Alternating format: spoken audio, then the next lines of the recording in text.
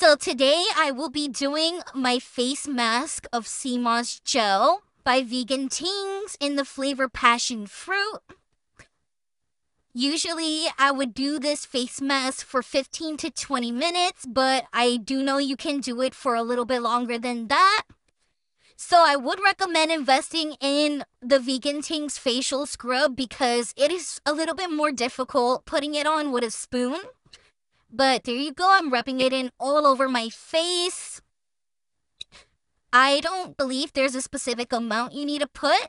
It does smell delicious. so I did end up eating some.